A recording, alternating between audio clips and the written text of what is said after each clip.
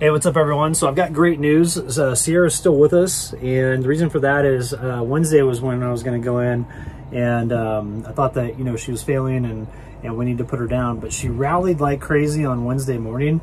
We got up in the morning time and, and I was just heartbroken and I was having a tough time getting my morning going, but she got up, jumped down, wanted to go outside, so we went on a walk.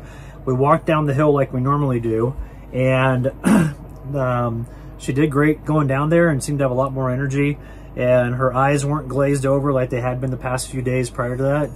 And then we walked back up the hill, came up to the where our driveway is here, and then she wanted to walk all the way down the other side of the road and then back around the back of the property and up, which is a long ways to walk, you know, considering that she hasn't really done that much lately. Um, then we went to REI because we went into Flagstaff where her vet was, you know, we had an appointment in the afternoon. Um, we went into REI in the morning and then Sierra was walking around doing great. Uh, went up to everybody, was being real friendly like she normally is, like completely different than how she had been the, the previous four days. And so um, when I talked to her vet, and then when we stopped by the, the vet clinic, uh, we both agreed that like it doesn't really seem like it's Sierra's time yet. And what what I think and, and what was was suggested is that you know possibly she might have had a cold and um, not felt good the past couple days. But then this morning we got up at 5:15. She wanted to jump out of the truck. We went right down and walked again. Um, she came back up, ate a full breakfast. She took a nap. Just got up uh, about an hour ago. Has uh, come outside with me a few times, and now she's just kind of chilling on the bed.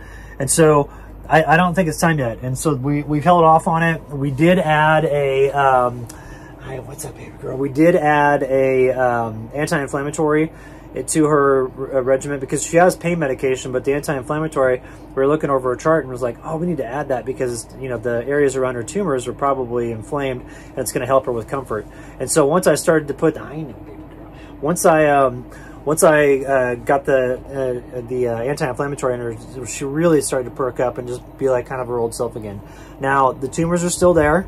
Um, I'm not under any illusion that like, you know, all of a sudden she has a new lease on life. But what I am saying is we have more time, which I'm very, very thankful for. And so tonight, uh, what we're going to do is we're going to have a pizza party live stream. And so I'm going to go into town. We're going to pack up the truck here in a second, run into town, grab a pizza from the local pizza place, come back here and get ready. And then we'll have it uh, this evening. So I'll, I'll, put a link up for the live stream um, after we get that scheduled. Probably do it for like let's see, so it's I'm on West Coast time, so 6 p.m. is 9 p.m. Probably like maybe like 5:30 or 6, something like that. So just plan on about that time. So, but I'll post it up, and then I'll also post on the community page, you know, like a little text post about it with the link and everything. So it'll be good to go.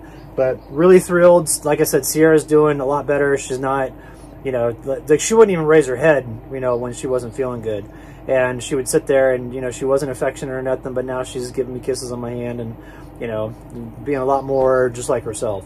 And so i figured i wanted to, to get with you all and um, first i'll tell you the great news. And um, reason i didn't post it yesterday was just because we got back here and I just had a ton of stuff to do. We got back late on Wednesday night. So Thursday, yesterday, I just had to get caught up with some stuff. And then today, I was going to post it this morning, but I um, I saw a horse down the road without anybody on it, but I had a full saddle. And so I went down there and hung out with it. And then finally a cowboy came walking around the corner and I saw him. He walked around the corner, looked down the road, but didn't see anybody, and then turned around and walked back. And then I rode my bike down there. I was like, did you lose the horse? He's like, yeah. He's like, it ran away when we were working on a fence. And so um, I, I, kept that horse company for a couple hours this morning, so we're just now getting to making this video now. But I'm going to go ahead and post this up now. I'm not going to do a whole lot with editing, so sorry, the editing's not that great. Um, but we'll we'll do the live stream this evening in here, and it'll be a good time with Sierra. And uh, and also, too, I'll show you what we've done at the property, because there's been lots of good stuff. So we'll get you all caught up with everything, and uh, hopefully we can see you tonight. So like I said, about 5.30 or 6 uh, West Coast time is when we'll get started and I'll be sure to post a link up here in a little bit. All right, thanks a lot.